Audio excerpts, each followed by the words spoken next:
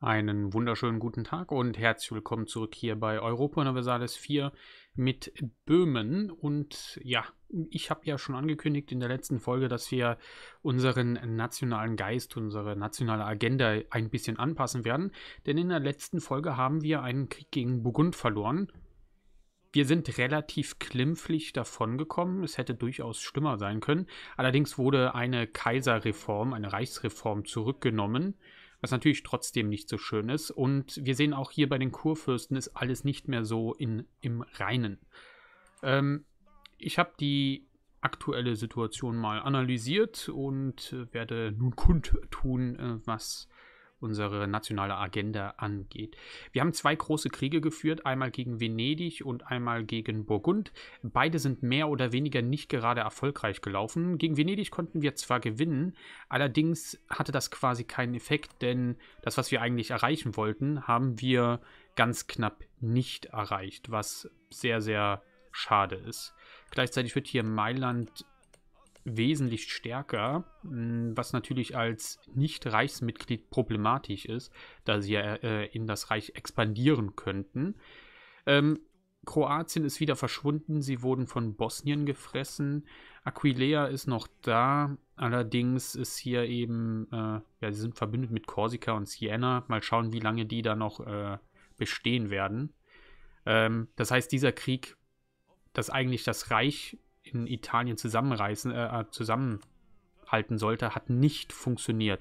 Genauso auch die Etablierung von Kroatien hat ebenfalls nicht funktioniert. Es war also eine große Kraftanstrengung, die nicht erfolgreich war. In, gegen Burgund haben wir ähm, es nicht geschafft zu gewinnen. Wir mussten eine Reichsreform rückgängig machen. Ähm, wenn man erweitert schaut, könnte man sich das noch schönreden mit Frankreich, weil die hier ein paar Provinzen erobert hatten und hier, ich glaube, es war Brabant, genau, und, nein, nicht Flandern, sondern Holland, die jetzt unabhängig sind. Und auch im äh, Reich. Hier, das sehen wir. Flandern gehört nicht mehr dazu. Ähm, aber das ist ja nicht unser Verdienst gewesen. Okay, das ist erstmal die eine Sache. Dann haben wir, während wir diese beiden Kriege geführt haben gegen Venedig und Burgund, ist relativ viel im Reich passiert. Einige Staaten haben sich vergrößert, sind expandiert. Wir haben zahlreiche Ansprüche, äh, nein, nicht hier Ansprüche, Kriegsgründe normalerweise. Ähm, genau. Da hier einige Länder am expandieren sind, was nicht akzeptabel ist, was so ein bisschen das Gleichgewicht innerhalb des Heiligen Römischen Reiches so äh, aus, der, ja, aus der Ordnung bringt. Ähm, das hat zur Folge, dass auch die Kurfürsten alle so ein bisschen jetzt unterschiedlich wählen. Vorher hatten wir ja große Unterstützung. Momentan, aktuell, würden wir immer noch gewählt werden. Allerdings könnte sich das schnell ändern, ähm, weil hier schon zwei Stück gibt, die hier Sachsen wählen würden. Wir werden erstmal schauen, dass wir äh, Beziehungen verbessern. Das ist, denke ich, klar. Aber dazu kommen wir dann auch gleich. Ähm, also die Situation ist, wir haben einen Krieg verloren gegen Burgund. Wir haben deswegen auch sehr, sehr viele Schulden. Ähm, die müssen wir alle abbauen. Ähm, wir haben einen Krieg gegen Venedig gewonnen, der uns aber eigentlich gar nichts gebracht hat.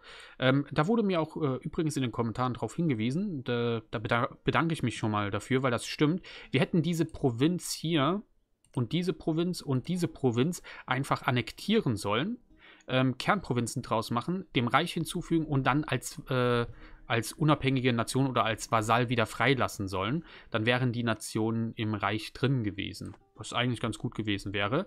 Ähm, zukünftig können wir so gerne operieren, das sollte kein Problem sein. So kriegen wir Nationen ähm, zusätzlich in das Heilige Römische Reich integriert. Okay, ja, also keine sehr erfolgreiche Zeit von unserem guten Boleslav, der mit 28 Jahren noch relativ jung ist. Ähm, das zeigt, dass er erstmal noch ein bisschen was lernen muss, was äh, ja, das Heilige Römische Reich angeht. Und unsere nationale Agenda wird wie folgt aussehen. Ähm, natürlich gibt es Revanche-Gedanken gerade gegen Burgund, weil sie doch, äh, das ist eine Sache, die doch schon tief ins Mark reingeht und äh, ähm, unser Bewusstsein dahingegen schärft. Ähm, wir werden erstmal in eine defensive Grundhaltung gehen. Das heißt, wir werden erstmal keinen Krieg gegen Nationen führen, die jetzt hier außerhalb Gebiete besitzen. Das heißt, wir gehen in eine defensive Position und kümmern uns erstmal um die inneren Angelegenheiten des Heiligen Römischen Reiches, denn da gibt es genug zu tun. Wir haben hier einige Kriege hier am Laufen. Wir können ja mal kurz reinschauen. Ähm, Schlesien hat hier Krieg, Österreich hat hier Krieg. Ähm, ja, das sind die zwei großen Kriege, die da äh, doch einige Mitgliedstaaten mit reinziehen. Und vorher gab es halt eben auch viele Kriege. Das heißt, wir werden versuchen, erstmal die Sachen alle wieder zu ordnen innerhalb des Reiches. Zweiter Punkt ist, wir wollen uns erstmal wirtschaftlich, politisch und auch militärisch wieder erholen. Denn das hat sehr viel Rekrutenreserven gekostet. Es hat viel Geld gekostet. Wir haben sehr viele äh, Schulden aufnehmen müssen. Stabilität ist auch nur plus eins. Das würde ich gerne wieder erhöhen. Und wie gesagt, auch politisch innerhalb des Reiches, also was... Ähm, das Heilige Römische Reich angeht, hier die Reichsreform wieder durchbringen. Das wollen wir erstmal wieder auf einen akzeptablen Niveau bringen. Das heißt, wir werden erstmal eine defensive Grundhaltung einnehmen, uns äh, stabilisieren, für Ordnung innerhalb des Reiches sorgen und äh, dementsprechend dann agieren. Ähm, und wenn wir dann militärisch doch irgendwie außerhalb äh, des Heiligen Römischen Reiches aktiv werden, dann höchstwahrscheinlich gegen Ungarn. Wir haben ja da auch schon Ansprüche fingiert, dass wir da irgendwie, ja, das so ein bisschen kompensieren wollen. So, ja, ah, böses Burgund, jetzt kriegt Ungarn da einen drauf. So in diese Art und Weise. Okay, das ist erstmal so die äh, Sache, die wir da machen. Ähm, dazu gehört erstmal, dass wir äh, das Bündnis mit Trier auflösen, da ich das als sehr, sehr schwaches Bündnis sehe. Trier ist im Moment nur eine Ein-Provinznation. Und ähm, sie sind zwar hier Kurfürst, aber sie sind nicht gerade wirklich ein Stabilisator dafür, dass wir hier innerhalb des Reiches Frieden halten können. Wir werden als erstes hier mit Trier die Beziehungen verbessern, damit wir das so ein bisschen kompensieren, beziehungsweise erstmal Bündnis auflösen, zack. Mal schauen, ob die uns dann immer noch wählen werden. Ähm, also mit Trier werden wir die Beziehungen verbessern. Wir werden Brandenburg, wie sieht es hier aus? Ne, die mögen uns. Verbesserte Beziehungen könnte man ein bisschen was machen. Mainz, genau. Ne, die haben ja Beziehungen verbessert. Mainz könnte rein theoretisch eine Nation sein, mit der man zusammenarbeitet. Die befinden sich momentan im Krieg äh, mit Schlesien, was natürlich ein bisschen problematisch ist. Aber nur weil die hier Nassau angegriffen haben. Ähm, ja, sie sind. Äh, nein, ihr, ihr Rivale ist Trier, also Trier hat sie rivalisiert. Die könnten aber durchaus äh, stark sein. Also das könnte vielleicht eine Nation innerhalb des Reiches sein. Also wenn wir uns das hier angucken, ähm, Mainz wäre durchaus ein guter und starker Partner. Also da würde ich tatsächlich drüber überlegen, ob man hier nicht... Ah, da müssen wir noch kurz warten. Okay. Dass wir sie als Bündnispartner reinholen. Ähm, wir könnten schauen, wen haben wir denn noch als...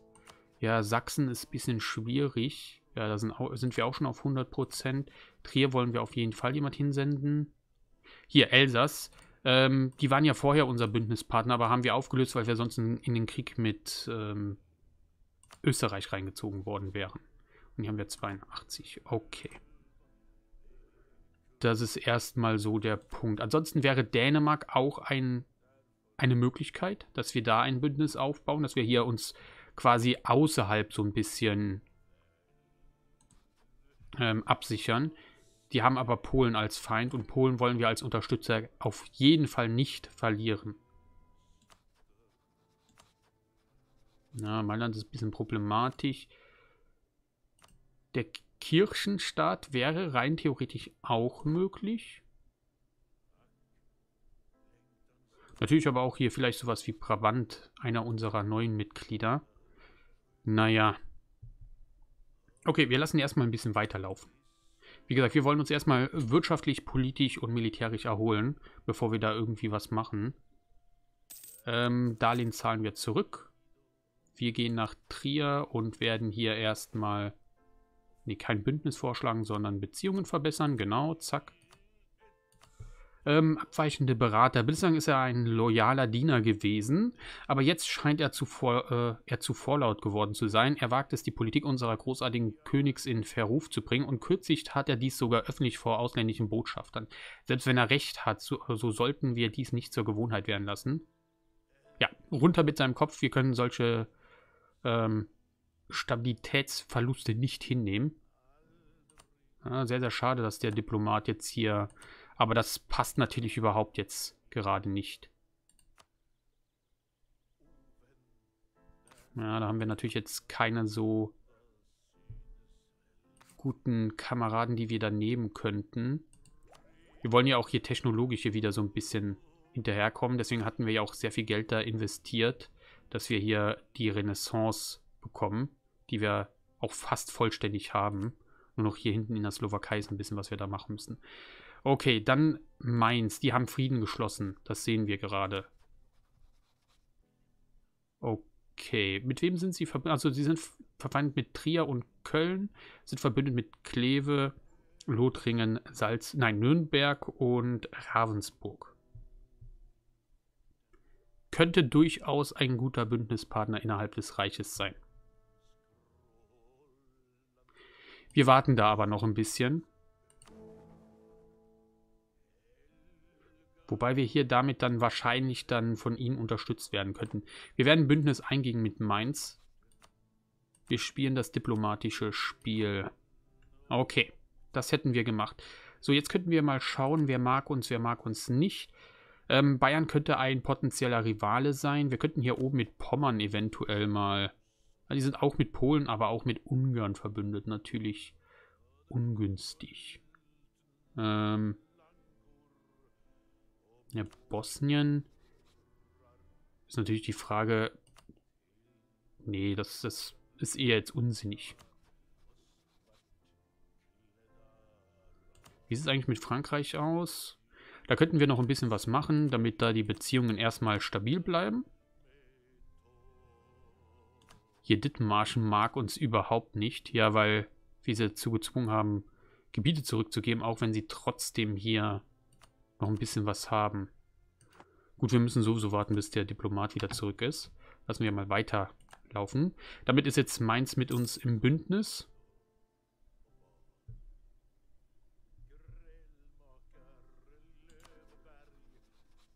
Schlesien ist weiter mit uns verbündet, das ist gut. Hätte ja auch sein können, dass sie das auflösen. Das Schöne ist, Mainz ist ein Bündnis, wo wir keine Staatsehe eingehen müssten oder sonst was. Das ist also ein relativ lasches Bündnis in Anführungszeichen. Momentan hätten wir wieder eine stabile Mehrheit von vier äh, von vier per äh, von vier Nationen. Oh, Elsa, es geht hier ganz schön auf. Okay, wie steht's denn hier? Oh, es sieht gar nicht mal so gut aus für Österreich. Hm. Ja, da verbessern wir ja die Beziehung wieder gut. Okay, man hätte sich vielleicht doch überlegen können. Okay. Interessant. Ähm, wir, wie gesagt, wir werden auch versuchen, hier so ein bisschen die äh, Provinzen zu entwickeln. Da müssen wir nur schauen, dass wir das so einsetzen. Wir könnten ein bisschen Militärtechnologie ähm, beziehungsweise hier Militärpunkte einsetzen. Da ist natürlich die Frage, wo machen wir das am besten?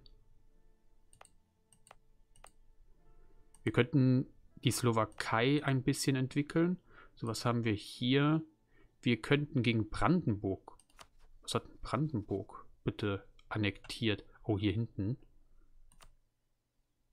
Ja, werden wir. Lüneburg, Anhalt. Ja, wir werden Lüneburg zurückfordern. Auch wenn sie unser Bündnispartner sind.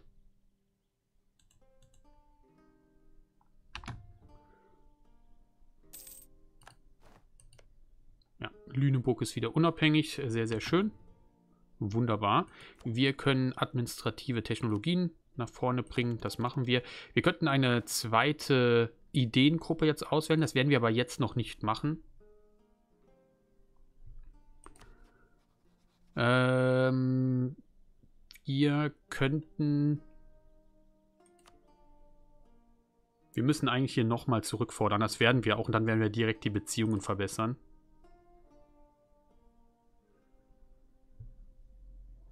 Weil das stärkt hier auch wieder den Zuwachs normalerweise, wenn wir ähm, Länder befreien. Genau. Ja, die sind jetzt noch weiter von uns zurückge äh, zurückgegangen, aber das ist jetzt eher uninteressant. Das ist wichtiger, dass. Warum sind hier lüneburgische Nationalisten? Ich hoffe, die bewegen sich... Ne, die bewegen sich da nicht weg. Die... Okay, dann müssen wir hier hingehen und die wegmachen.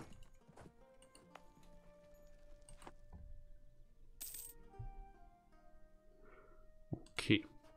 So, dann fordern wir das mal zurück. Die werden das ablehnen, genau. Sehr, sehr schade.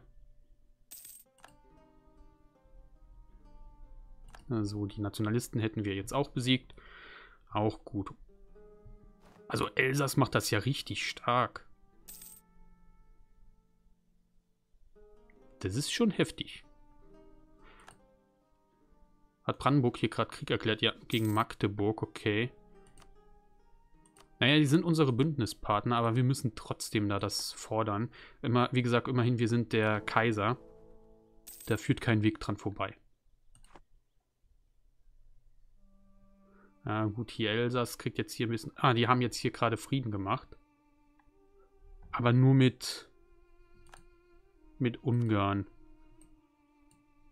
Okay, die kriegen Kriegsreparationen, haben ein bisschen Geld bekommen. Interessant. Oh, Ungarn hat die Walachei als äh, Rivalen ausgewählt. Da könnte man schauen, dass wir hier auch die Beziehungen bald verbessern. Das wäre durchaus interessant für die Zukunft. Das ist natürlich jetzt, äh, da müssen wir das hier auch wieder stilllegen, um da ein bisschen Geld zu sparen. Äh, Darlehen zurückzahlen. Nach und, äh, nach und nach zahlen wir die Sachen zurück. Und dann entwickeln wir da ein bisschen. Also da wollten wir ja schauen, wir könnten gucken, dass wir die Slowakei ein bisschen entwickeln. Ja, wir könnten auch die Hauptstadt ein bisschen entwickeln. Da machen wir mal ja, zwei Punkte. So, Trier sind wir fertig. Unser General ist gestorben. Wir pausieren mal kurz. Ähm, ja, Erzgebirge. Beziehungsweise Pilsen.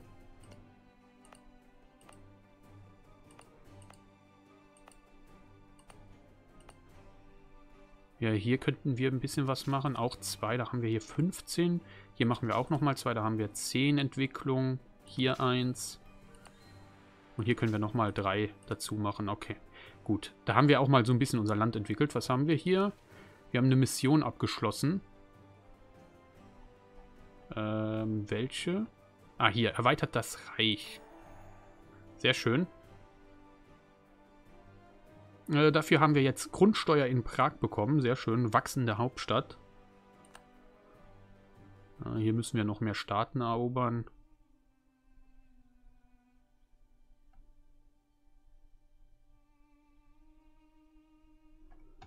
Okay. Venedig möchte gerne durchlaufen. Wir sind im Krieg mit dem Osmanischen Reich. Okay, das erlauben wir. Dann hier, dass sie da durchlaufen dürfen, auch wenn ich nicht genau weiß, wo die genau durch wollen. Höchstwahrscheinlich wollen sie durch Österreich, weil wenn man ähm, Durchgangsrechte beim Kaiser hat, kann man, glaube ich, überall durchlaufen im Reich. Könnte ich mir zumindest vorstellen. Okay, Österreich macht hier weiter Stress. So, wir wollten mal schauen, dass wir hier mit äh, der Walachei die Beziehungen verbessern.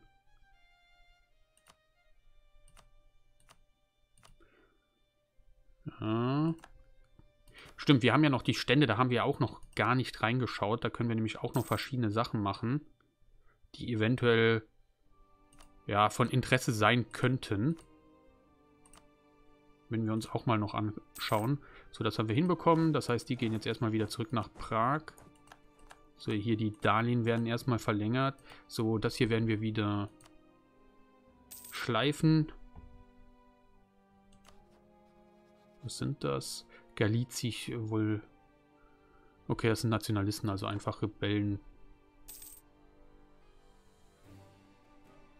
Ja, jetzt sieht es nicht mehr so gut aus für Elsass, ja. War keine so kluge Idee hier gegen Ungarn da so vorzugehen. Hängt natürlich jetzt davon ab, was Österreich jetzt hier genau macht mit Elsass. Das werden wir natürlich nicht gutheißen. Ermordung Adliger. In dieser Zeiten waren Adelsfamilien ein Bollwerk der Macht. Die Ermordung von Anführern mächtiger Häuser wurde als schwerer Schlag gegen das Schicksal der betroffenen Familien angesehen. Mit dem Emporkommen religiöser äh, Zwistigkeiten nahmen auch die Anschläge auf Führer von Adelsfamilien einer anderen Religion zu. Ähm, wir versuchen natürlich Kontrolle über die Situation zu übernehmen. Wie gesagt, diese Probleme in der Innenpolitik, was die Stabilität auch alles so ein bisschen mit beeinflusst, wollen wir nicht haben.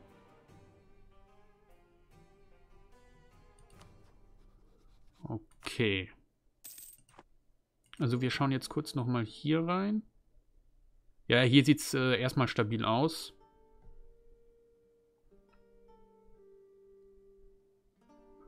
Okay. Die Walachei könnte vielleicht zukünftig eine, ein potenzieller Verbündeter sein oder auch als äh, Bollwerk hier gegen das Osmanische Reich äh, nützen, als Bündnispartner. Äh, so, Österreich hat Frieden mit der Schweiz gemacht. Sie haben sich diese Provinz hier geholt. Okay. Ja, Elsass wird dann wahrscheinlich jetzt auch hier gleich dran sein. Ja. So, also mit Elsass sind wir auch fertig, was die ähm, Beziehungsverbesserung angeht. Äh, so, erstmal hier werden wir ganz klassisch hier das zurückfordern. Stimmt, wir könnten auch noch jemanden Reichsgnade gewähren.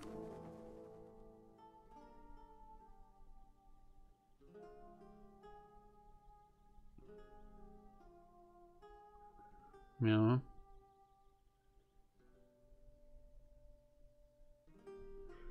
Ja, wir müssten eigentlich schauen, dass wir hier ein paar Mitgliedstaaten wieder freilassen. Das heißt, wir müssen relativ bald wieder aktiv werden. Die Rekrutenreserve sieht schon ganz ordentlich aus. Und dass wir da mal die Ansprüche durchbringen. Wir sehen auch hier, Brandenburg hat hier schon wieder Lüneburg angegriffen. Ah, die haben das hier über den Umweg gemacht, über Magdeburg. Interessant. Ja.